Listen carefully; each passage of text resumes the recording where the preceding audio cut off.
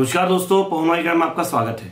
आज का अपना टॉपिक है फ़ंक्शंस और फ़ंक्शंस में आज पूरा इंट्रोडक्शन आपको मैं बता रहा हूँ इसका। ये वीडियो ज़्यादा बड़ा नहीं होगा, लेकिन जो भी मैं इसमें बताने वाला हूँ, वो बहुत ही इंपॉर्टेंट है आपके लिए। और देखिए, ये थोड़ा सा नई चीज़ है आपके लिए।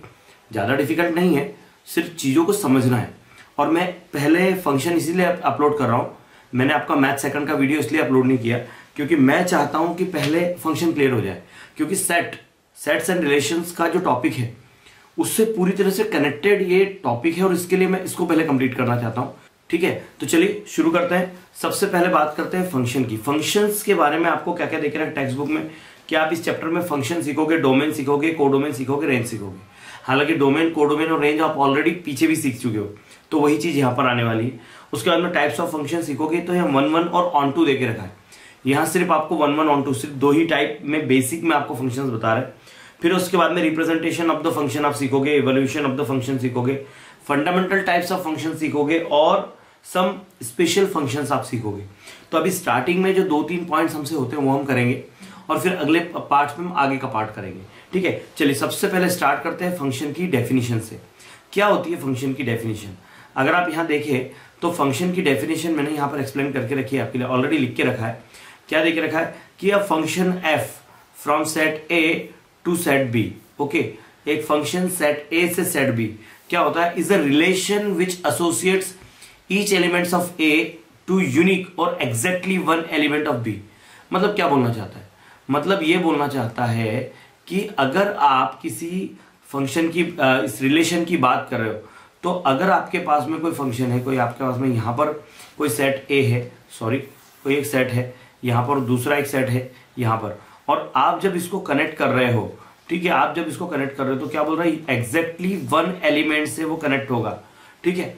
एग्जैक्टली वन से, वो क्या बोलता है? ध्यान से सुन लो डेफिनेशन सुन लो। डेफिनेशन में क्या बोलता है?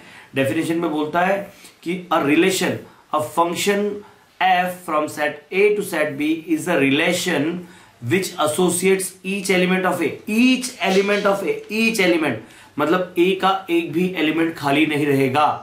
ठीक है? ऐसा नहीं होगा। ऐसे नहीं आप लिख सकते कि यहाँ पर ए लिख दिया। तो ये, या यहाँ पर फोर लिख दिया। तो एक एलिमेंट खाली रह गया तो ये फिर फ़ंक्शन नहीं होगा। ठीक है? बात समझ लो। क्या बोलता है? Each element of A is associate to unique element of B तो बी के यूनिक एलिमेंट से वो कनेक्ट हो। एग्जैक्टली वन से वो कनेक्ट हो। ठीक है? अगर ऐसा हो जाता है, इससे एक दूसरे वाले से और कनेक्ट हो जाता है। इस तरह से भी हो जाता है। तो फिर वो भी फ़ंक्शन नहीं होगा। ठीक है? फ़ंक्शन होने के लिए दो बातें ध्यान रखना। नंबर एक कि सेट ए का सेट ए का हर एलिमेंट सेट बी से कनेक्ट होना चाहिए। Every element okay every element connect होना चाहिए, पहली बात। और दूसरी बात क्या बोलता है? Unique element of B B के भी एग्जैक्टली वन एलिमेंट से वो कनेक्ट होगा। ठीक है? दो से नहीं होगा कनेक्ट ओके दो से नहीं होगा। क्योंकि अगर दो से कनेक्ट हो जाएगा तो फिर वो क्लियर नहीं, वो डेफिनेशन में हमको क्या बोल रहा है? ध्यान से सुन, समझ लो। वो डेफिनेशन में बोल रहा है a function from set A to set B is a relation which associates each elements of a. Element a के एक एलिमेंट टू यूनिक और एग्जैक्टली वन एलिमेंट बहुत ध्यान रखना exactly one element y okay in set B ठीक है? तो ये डेफिनेशन है बेसिक डेफिनेशन उसके बाद हमको यहाँ पर क्या देके रखा है? उसके बाद हमें यहाँ देके रखा है that then element y is expressed as y is equal to f x y is equal to f x function को इस तरह से आप बताओगे. y is equal to f x होगा। ठीक है? y is equal to f x पहली बात होगी। उसके बाद आगे आते क्या बोलता है? y is the image of x under f. Okay y क्या होगा? भाई सेट x जो है सॉरी x जो है और y, ये कनेक्ट हो गए। तो y क्या है? y होगा इमेज y को हम क्या कहेंगे? इमेज कहेंगे। और जो एलिमेंट्स इधर के, इनको क्या कहते हैं हम? प्री इमेज कहते हैं। ठीक है? वो प्री इमेज होते हैं। ठीक है? तो क्या देख रखा है? Y is the image of x under f and such as a function exist A is called the domain and set B is called the codomain मतलब अगर मेरे पास में यहाँ पर मैं दो इस तरह से बना लू, ठीक है? मैं यहाँ पर दो ये बनाऊ। एक मिनट रुकिए। ये एक मैंने यहाँ पर बनाया, ठीक? ओके? और दूसरा भी मैं यहीं पर बना लेता हूँ। इसी तरह से ये मैंने बना लिया। ठीक है? थोड़ा इसको ऊपर कर लेते हैं। तो ये क्या बोल क्या रहा है? ये बोल रहा है दैट ये जो सेट ए और सेट बी होगा, ये सेट ए होगा और सेट बी होगा। तो सेट बी क्या होगा? ये यहाँ पर सेट ए के लिए क्या बोल के रखा है? कि set A is a domain ये जो होगा, ये इसको पूरा डोमेन कहते हैं हम। ठीक है? सेट ए और ये क्या होगा? ये को डोमेन होगा। ठीक है? को डोमेन होगा। फिर रेंज कौन सी होगी? रेंज वो होती है जो बी में ए से कनेक्टेड हो, अगर एक एलिमेंट छूट गया तो फिर जो बचे हुए एलिमेंट कनेक्टेड है, वही हम लेते हैं। हमने रेंज में किया ये, ठीक है? तो इस तरह से है। बहुत सिंपल है, कुछ भी डिफ़िकल्ट नहीं है। अब देखिए, आपके टेक्स्ट बुक में कुछ एग्जाम्पल्स दे के रखे। क्या बोलता है? For example examine the following relation which are given by the arrow in the line segments okay line segments arrow में देखे रखे। Joining elements of set A to set B okay ये पहली वाली बात है। अभी क्या बोलता है R one is a well defined function यहाँ पर अगर देखा जाए तो R one is a well defined function अब ऐसा क्यों लिखा है भाई? क्यों फ़ंक्शन है? कारण है नंबर एक, कि ए के जितने एलिमेंट्स है, वो यूनिकली यूनिक एलिमेंट से कनेक्टेड है। ठीक है? ए के जो एलिमेंट्स है, वो यूनिक एलिमेंट से कनेक्टेड है। ठीक है? देखिए दो एलिमेंट्स, यहाँ का एक एलिमेंट दो से कनेक्ट नहीं होगा, ध्यान रखना, यहाँ का एक एलिमेंट मतलब सेट ए का सेट ए के एलिमेंट यहाँ के दो एलिमेंट से कनेक्ट नहीं होगा, ये नहीं होगा, ऐसा नहीं होगा, क्योंकि क्या बोलता है कि every element in set A is related to unique and exactly one element one बोला है तो ये वन से ही कनेक्ट होगा। अब आप बोलेंगे, सर, यहाँ पर तो ये दोनों मिलके इधर कनेक्ट हो रहे तो ये ये अलग बात है। ये अलग बात है, ये दो एक से हो सकते हैं, दो एक से हो सकते हैं। इधर के दो, इधर के एक से हो सकते हैं। सेट ए के दो जो है सेट ए में ये जो दो है सेट ए में ये जो दो है, ये एक से कनेक्ट हो सकते हैं। पर इधर का एक, इधर के दो से कनेक्ट नहीं हो सकता। तो ये एक वेल डिफाइंड सेट है, पहला वाला वेल डिफाइंड सेट है। चलिए इसमें आगे आते हैं। आगे देखे रखा हमको आर टू आर टू में क्या है भाई, हमको क्या बोला था डेफिनेशन फिर से सेट के जो फ़ंक्शन की डेफिनेशन उस पर हम जाते हैं। फ़ंक्शन की डेफिनेशन बोलती है कि each element of A is related to exactly one element of B अब ईच एलिमेंट देखो यहाँ पर डी छूट गया है। डी छूट गया तो फिर ये ये रिलेशन होगा, ये फ़ंक्शन होगा नो ओके यहाँ लिखो R two is not a function यहाँ क्या लिखेंगे आप? यहाँ लिखिए that is R two is not a function अब फ़ंक्शन क्यों नहीं होगा? बिकॉज़ यहाँ का जो डी है, वो कनेक्टेड नहीं है इधर के किसी एलिमेंट से। वही आपको देख रखा है R two is not a function because the element D in set A is not associated to any element in B ठीक है? तो ये फ़ंक्शन नहीं होगा। हमने ये जो किया, ये फ़ंक्शन है। चलिए, अगले वाले पे आते हैं आर थ्री पे। अब आर थ्री में क्या हो रहा है? देखिए, मैंने आपको क्या बताया था कि कनेक्ट करते समय एक से आप दो को कनेक्ट नहीं कर सकते। मैंने आपको बताया था, ऐसे नहीं चलेगा। तो यहाँ आप देखिए, ये जो एक है, दो से कनेक्टेड हो रहा है। ए ए जो है, ये वन से भी कनेक्ट हो गया और टू से भी कनेक्ट हो गया। तो यहाँ पर क्या हो गया? यहाँ पर आप लिखेंगे R three is not a function ठीक है? ये फ़ंक्शन नहीं होगा। R T is not sorry R three is not a function R three is not a वो फ़ंक्शन नहीं होगा। क्यों नहीं होगा? उसका कारण देके रखा है।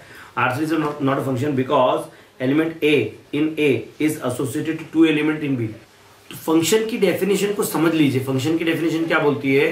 कि each element of A is associated to exactly one element of B ठीक है? ए के भी सारे एलिमेंट आना चाहिए और वो बी से कनेक्ट होना चाहिए सिंगल से। भाई, दो मिलके एक से कनेक्ट हो सकते हैं। मतलब ए के जो दो एलिमेंट्स है, वो बी के यहाँ पर ऐसे कनेक्ट हो सकते हैं। लेकिन जो ए का एक एलिमेंट है, वो ऐसा दो जगह पर कनेक्ट नहीं हो सकता। ये हो सकता है, पर ये नहीं होगा। ठीक है? ऐसा है। ठीक, चलिए, हम इसमें आगे बढ़ते हैं, आगे देख रखा है relation which defines a function f from domain A to codomain B is often given by an algebraic rule अब देखो भाई, जो फ़ंक्शन है फ़ंक्शन को मैंने यहाँ पर आपको डायग्राम से बताया है तो इसका एक अल्जेब्रिक रूल भी होता है। अब वो क्या होता है? उसमें टाइप्स क्या होते हैं? ये तो हमने देखा है रूल कैसे होते हैं? हमने देखा था ना कि f of x is equal to two x plus one तो टू एक्स प्लस वन क्या भाई? एक्स अगर ये एक होगा तो ये कितना हो जाएगा? ये थ्री हो जाएगा। मतलब इधर आप जो सेट ए में है सेट ए में आप इधर वन लेंगे तो सेट बी में वो थ्री आएगा। इस सेट ए में आप दो लेंगे तो इधर ये पाँच आएगा। इस तरह से करेक्ट होगा ये, ठीक है? ये इसको मैं करेक्ट कर देता हूँ। इस तरह से होता है, ठीक है? ऐसा है। चलिए, एक काम करते हैं, इसमें आगे बढ़ते हैं। टाइप्स ऑफ़ फ़ंक्शंस में हम आते हैं। आइए दोस्तों टाइप्स ऑफ़ फ़ंक्शंस करते हैं। और टाइप्स ऑफ़ फ़ंक्शन में जो पहला प्रकार है दैट इज़ वन वन या जिसको वन टू वन कहे, या जिसको इंजेक्टिव कहे मतलब तीनों एक ही है। आप इसको वन वन कह सकते हैं, ठीक है? आप इसको वन टू वन कह सकते हैं, ठीक है? और या इसको आप इंजेक्टिव कह सकते हैं, तीनों नाम चलेगा। लेकिन अब आपको ये ध्यान रखना है कि किसका नाम क्या है, ठीक है? वन वन और वन टू वन तो सेम है, लेकिन इंजेक्टिव क्या होता है? वन टू वन अब जैसा नाम है वन टू वन वैसे ही है। अब function f from set A to set B is set to B one to one if distinct elements in A have distinct images in B A के जो एलिमेंट्स हैं, वो बी से single single element single single element से connected होंगे। तो वो क्या हो जाएगा? वो इंजेक्टिव हो जाएगा इंजेक्टिव फ़ंक्शन बोलेंगे उसको, या फिर उसको हम क्या बोलेंगे? वन टू वन जैसा नाम है कि इधर के जो वन वन वन है, इधर के वन वन वन से वो कनेक्ट हो जाए ऐसे। ठीक है? ये वन टू वन फ़ंक्शन होगा। ठीक है? उसके बाद अगले वाला जो है type that is onto और सर्जेक्टिव फ़ंक्शन अब ऑन टू क्या होता है?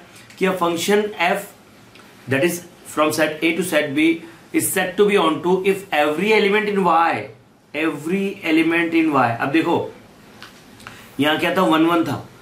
सेट ए का, आप इसका स्क्रीनशॉट भी ले लीजिए। सेट ए का जो हर एलिमेंट है, वो सेट बी के दूसरे मतलब डिस्टिंक्ट एलिमेंट से वो कनेक्टेड है। और वन टू वन एक से एक कनेक्ट है। ओके अब यहाँ क्या बोलता है? यहाँ ये बोलता है कि a function f from set A to B is set to B onto if every element in Y every element in element Y in B is an image of some element in X मतलब Y का set B का एक भी element खाली नहीं होगा। B के सारे के सारे एलिमेंट कनेक्ट होंगे ए से। इतना ध्यान रखिए। बी में कोई भी खाली एलिमेंट नहीं होगा। क्या बोलता है ये यहाँ पर? यहाँ देखिए, हमारे टेक्स्ट बुक में ही देखे रखा है। इसकी डेफिनेशन के बाद the image of A can be denoted by f A okay क्या बोलता है? The image of A can be denoted okay can be denoted by f of A और एफ़ ऑफ़ ए क्या बोलता है? Where Y belongs to B such that y is equal to f of x for some value of x belongs to a. और एक बात ध्यान रखना कि यहाँ पर जो ये हमें एफ़ ऑफ़ ए दे के रखा है that is the range okay is called range of X range of A set A के लिए रेंज है। रेंज क्या है? वो एलिमेंट जो ए के एलिमेंट से कनेक्टेड है, उनको हम कहते हैं रेंज ठीक है? तो यहाँ इस तरह से होगा। यहाँ देके रखा है कि note that function from set A to set B is onto क्या बोल के रखा है? इज़ ऑन टू और बोल के रखा है कि एफ़ ऑफ़ ए जो है वो बी के इक्वल है। एफ़ ऑफ़ ए बी के इक्वल मतलब क्या? एफ़ ऑफ़ ए बी के इक्वल है, इसका मतलब ये है कि बी के सारे एलिमेंट कनेक्टेड है। और अगर सारे एलिमेंट कनेक्टेड हो जाएँगे तो ये तो रेंज है ना भैया? ये तो रेंज है। तो रेंज क्या हो जाएगी? पूरा का पूरा सेट भी हो जाएगी। इन शॉर्ट रेंज क्या हो जाए? पूरा सेट भी हो जाए।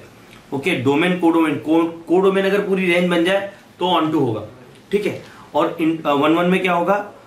ऑन टू बोलिए या उसको सर्जेक्टिव बोलिए। और वन वन में क्या होता है? सिंगल सिंगल कनेक्टेड होते हैं। बस वो बात है। ठीक है? अब देखिए अगला कुछ अगले इस पे आते हैं हम। जो बुक में हमको कुछ दे के रखे एग्जाम्पल्स उसमें से पहला वाला, पहला फ़ंक्शन दे के रखा है। अब यहाँ क्या दे के रखा है? यहाँ बोलता है कि ये देखो, ये एक ए जो है, ये इससे कनेक्टेड है।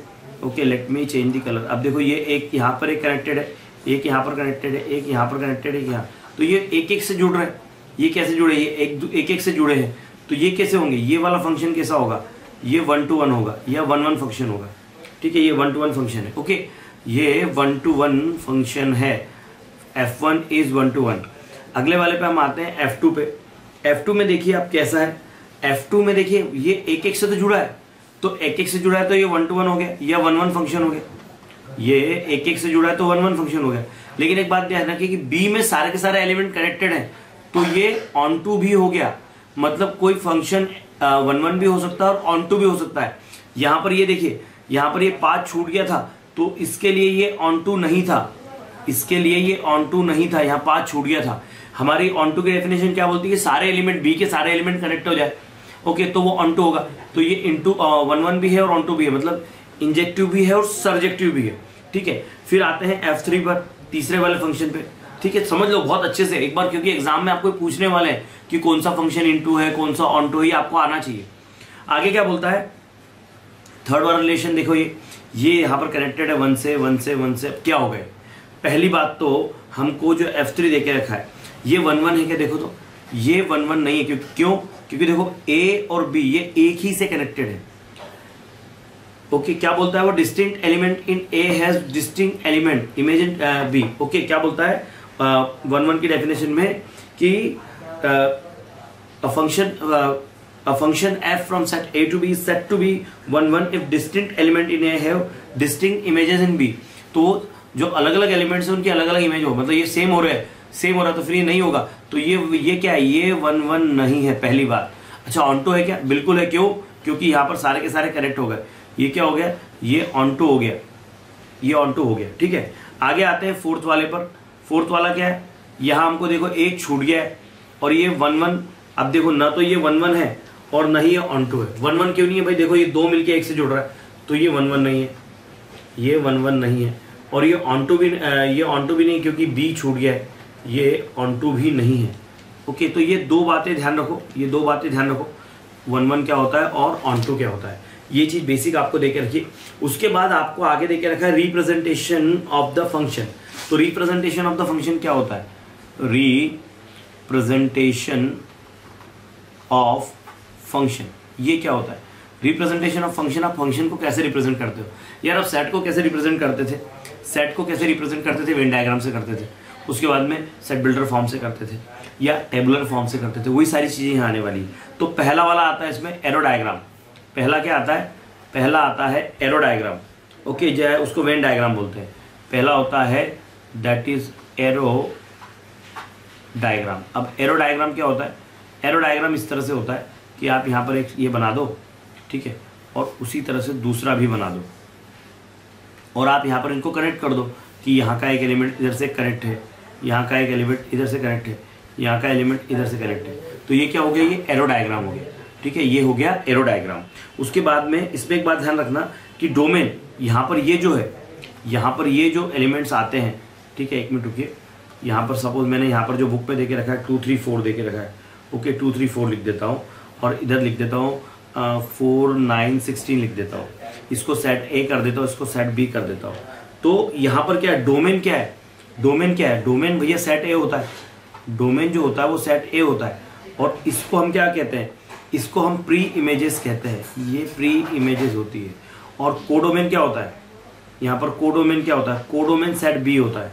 ठीक है? हालाँकि यहाँ पर कोडोमेन और रेंज एक ही है। यहाँ पर जो कोडोमेन भी है और रेंज भी एक ही है।